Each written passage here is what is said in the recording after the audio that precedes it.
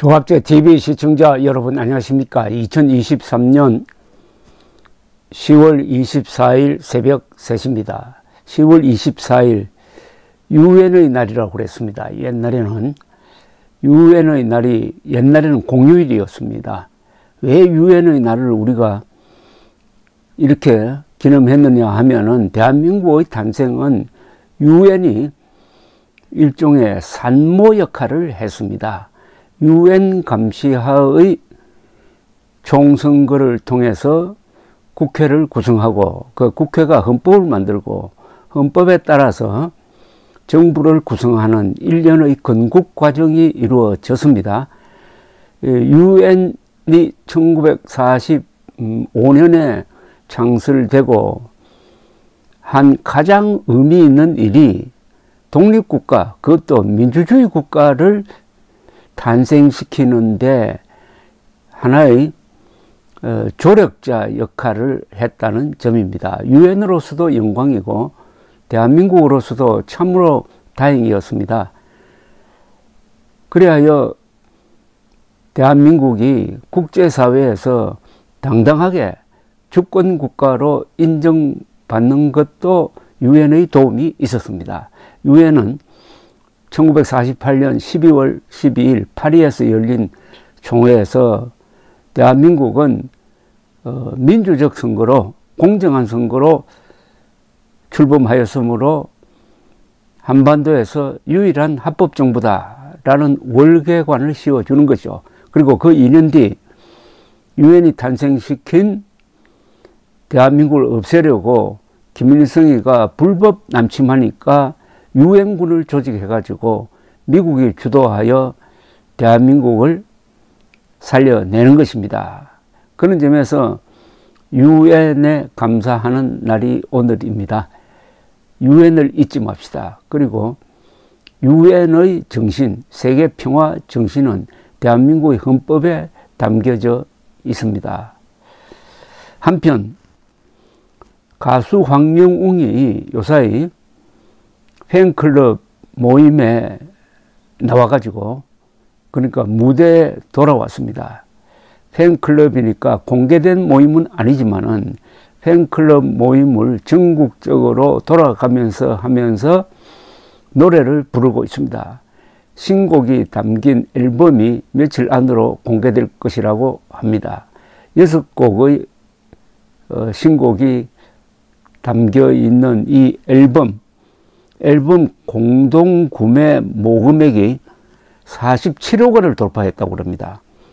황영훈 공식 팬카페 파라다이스에 따르면 22일 오후 10시 기준으로 황영훈의 첫 번째 미니 앨범 공동 구매 모금 금액은 47억 6,559만 2,882원인데 32만 장이 이미 예약이 되었다는 거죠.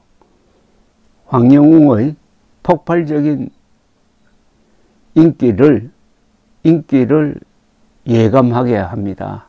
대단합니다. 그러니까 요새 황영웅 노래를 직접 듣고 온 분들이 댓글을 올리고 있습니다. 한 분입니다. 선생님, 황영웅 가수님 정모 정기 모임입니다. 정모에서 보고 와서 더 갈증이 나서 울산 정모 또 신청했어요. 황영우 가수가 그 힘든 시간을 잘 견뎌 주어서 고맙다고 안아주고 싶었습니다. 쑥스러워하고 수줍어하며 웃음 짓던 모습이 눈에 선합니다. 선생님 감사합니다. 또 다른 분입니다. 선생님 감사합니다. 어제 제 글을 읽어주셔서 깜짝 놀랐습니다. 선생님의 정의감과 팩트가 진솔하다 보니 저도 모르게 감화되어 늘 듣기만 하다가 아주 가끔은 나도 편지 한번 드려봐야겠다가 겠다고 할 때가 있거든요. 총 세 번 채택되어 문회에 기고해서 등단한 기분입니다. 선생님 늘 건강하세요. 저 제가 세 번이나 이분의 여기 오라고 쓰셨는데 필명을 이분의 글을 읽어 드렸다고 합니다. 편지를 통해서 여러분들과 이런 흐뭇한 사연을 주고받게 되어서 저도 영광스럽게 생각합니다. 조갑재 선생님 다른 분입니다. 선생님 오늘 또 함께 해 주셔서 감사드립니다. 보석이 아름다운 건 그냥 빛나기 때문이 아닙니다. 깨어지고 부서지는 아픔을 견디고 자신의 몸을 갈아내는 수많은 인고의 과정을 거쳤기 때문입니다. 그 사람이 바로 황영훈 가수이며 보석처럼 반짝반짝 빛나는 그리하여 가요계를 빛낼 인재입니다. 황영훈 가수님은 특별한 사람이고 귀한 존재이며 숨어있는 명곡을 불의 명곡으로 재탄생시키는 자랑스럽고 함께하여 행복하고 황영문 가수님만을 사랑하고 응원합니다. 또 다른 분입니다. 선생님,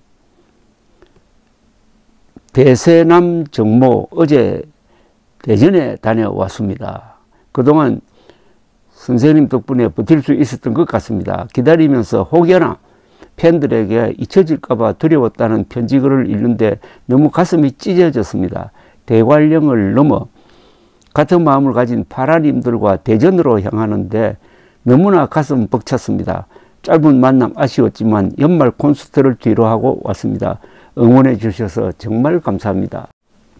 제가 여러분들이 써서 보내신, 보내주신 지나간 댓글들을 감, 검색을 해보니까 그때는 황영웅 가수가 안 나온 상태에서 이 정모를 해가지고 노래 부르면서 서로 마음을 주고받았다는 기록이 있네요. 단말한 분이 쓰셨습니다.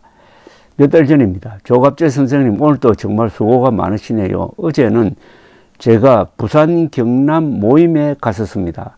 거의 350명 정도 왔다고 합니다. 그런 팬 모임은 처음 갔는데 그냥 한 가족 같았습니다. 쑥스러웠던 마음이 한순간에 사라졌지요. 식사를 하다가 앞에 분이랑 얼굴을 마주쳤는데 눈물을 흘리고 계셨습니다. 저도 옆에 계신 분들도 그냥 다 눈물이 핑 돌았죠. 그분은 74세의 어머니였습니다. 팬카페 가입도 안 했는데 소문 듣고 오셨다 하셨어요. 마음이 그냥 너무 아프다면서 우리는 이제 울지 마시라고 괜찮다고 잘 있다가 서울 나올 거라고 말씀드렸어요. 고개를 끄덕끄덕 하시면서 계속 우셨어요. 집에 자제분이 다 서울에 계셔서 카페 가입이 힘드셔서 제가 가입 도와드리니 너무 좋아하셨어요. 그러시면서 조갑재 선생님 말씀을 잘 듣고 계시다고 하셨어요. 우리 영웅님은 노래로 마음의 기쁨을 주고 조갑재 선생님은 올바른 판단으로 우리의 마음을 달래주고 계시니 참으로 든든합니다. 이 딴말한 분도 아마 이제는 황영웅 가수를 무대에서 직접 노래하는 걸 듣고 계시겠죠. 지난 3월 초에 하차했으니까 어, 약 8개월 만에 황영웅 가수가 무대로 복귀를 했습니다. 이 최고의 목소리를 가졌다는 정봉성 작곡가의 평입니다.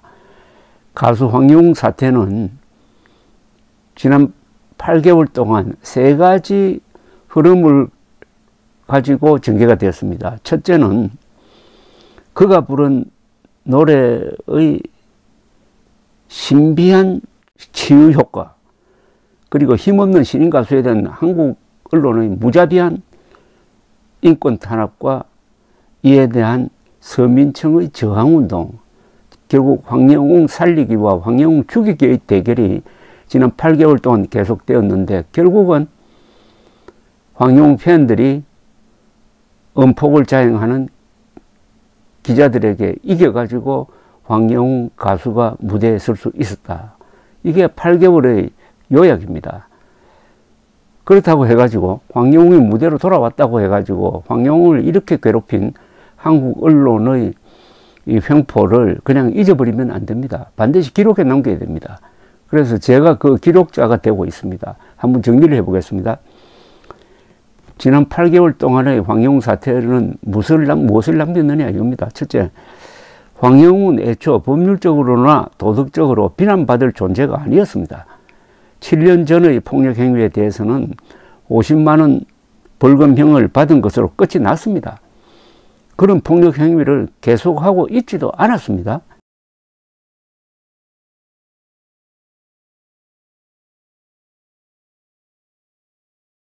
학생 때의 주먹 다짐 썰은 학교에서 공식적으로 문제된 적이 없어가지고 학폭으로 분류될 수가 없습니다.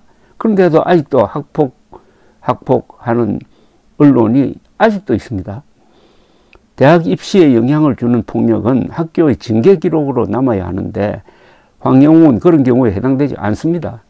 언론이 멋대로 학폭이라고 갖다 붙인 겁니다. 기타 폭행 주장은 익명 폭로자의 일방적인 말일 뿐 사실로 검증된 것이 없습니다. 폭로하는 사람이 얼굴을 가리고 이름을 가리고 하는 폭로는 무시해야 됩니다. 그런데 우리 언론은 무시하지 않고 그걸 가지고 황영웅을 집단 폭행했다는 이야기죠. 그래서 모든 사안은 과거 완료형이고 대가를 치렀던 일입니다. 그럼에도 황영웅은 과거 자신의 행적에 대하여 사과하고 MBN 불타는 트롯맨 결승에서 거의 확실했던 우승과 상금 6억 원을 포기하고 하차 활동을 중단한 겁니다. 그러니까 황영웅이 사실은 너무 너무 약하게 MBN도 너무 비굴하게 굴었다는 이야기입니다. 이런 황영웅에 대하여 한국 언론은 하차 후에도 무자비한 폭력적 보도를 계속하였습니다. 헌법상 권리를 가진 한 국민에게 너무나 지나친 공격을 하는 과정에서 헌법 제10조, 제15조, 제17조, 제19조, 제21조를 위반했습니다. 자유민주주의의 수호자여야 할 한국 언론이 최악의 인권 산업을 자행하는데 견제도 반성도 자율교제도 없습니다. 거의 모든 한국 언론은 황영웅의 신체상 비밀인 문신을 무단 공개해가지고 황영웅이 조폭스럽다고 비방을 했습니다. 아직도 이들 사진을 내리지 않고 있는 언론사가 대부분인데 이는 모든 국민은 사생활의 비밀과 자유를 침해하지 않는다는 헌법 제17조 위반 행위가 지속되고 있, 습니다 가수 따위에 무슨 인권이 있어라는 투의 오만의 극치입니다. 많은 언론이 아무런 검증 취재도 없이 황영웅을 학폭 프레임에 가두어 두들겨 팼습니다. 메이저 언론조차도 독자적 취재 없이 선동 유튜브나 MBC의 주장을 그대로 뺏겼습니다. 주류 언론마저도 힘없는 시민 황영웅에 대한 가학적 집단 폭행에 가담하니 학폭보다도 피해 규모가 훨씬 더 큰 음폭으로 자리매김되었던 것입니다.